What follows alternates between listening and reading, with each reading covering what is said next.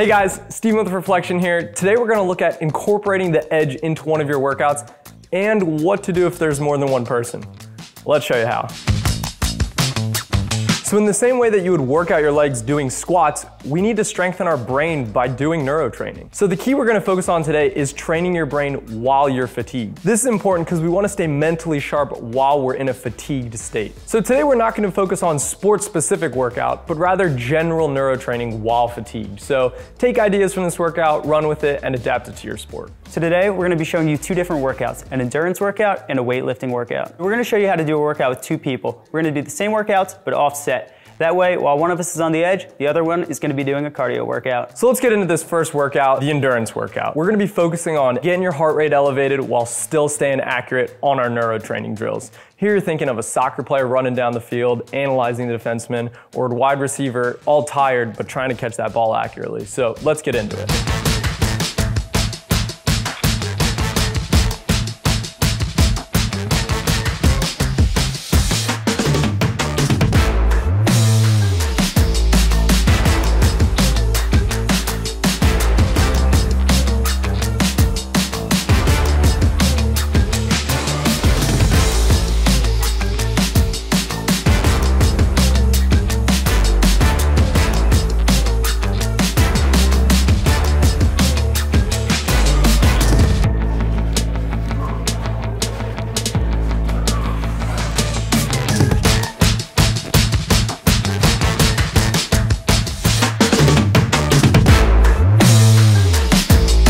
Go. That's workout one, the endurance workout. Whole point, getting that elevated heart rate while running some drills on the edge. It's definitely harder, but that's part of the workout. So now that we're done with that, let's head over to the weight room for workout two. Now workout two, the weightlifting section. The point of this workout is your muscles are gonna be tired, they're gonna be filled with blood, but at the same time, we still need to keep our mind sharp and commanding our body while completing these drills. Coming out of the endurance workout, we're both tired. Think of this like the big fourth quarter of the game where you're tired, you're fatigued, but you gotta still perform. We're gonna start with dumbbell presses. That's gonna have your upper body tired, your arms are gonna be pumping full of blood and slow, but we paired that with minefield and waterfall, which focuses on quickness and accuracy. So the combination of those two is gonna be tough, but let's get into it.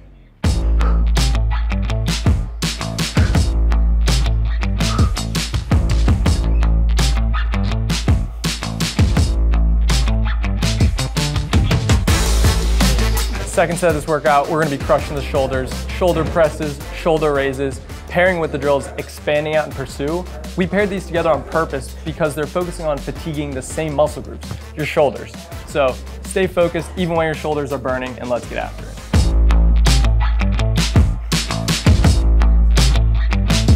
Already my shoulders are burning and want to drop away from the board. Gotta stay accurate.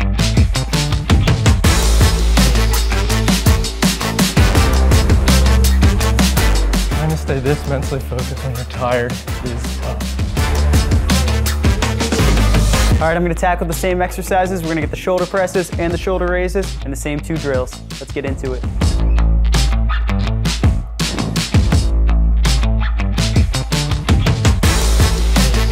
Starting to burn. Staying quick though.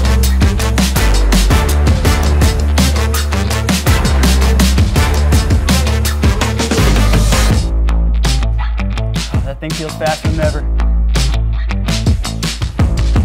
Something that gets overlooked in mind training is memory.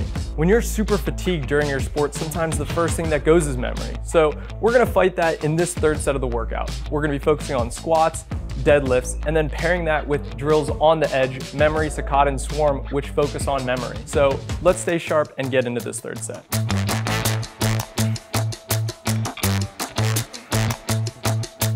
Silence during this one.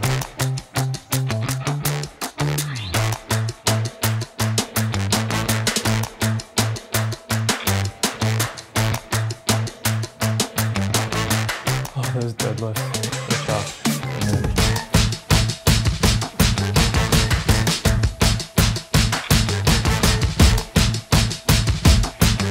This one's hard. Bunch of balls moving around, but there's still a pattern you have to follow. So it's gonna show me one, two.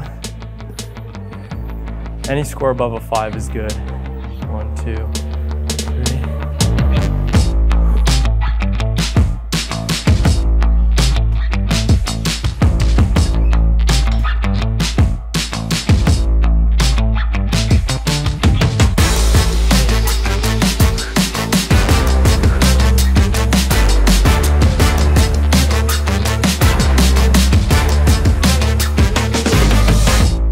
that's a wrap for today, guys. Thank you for following through those two workouts.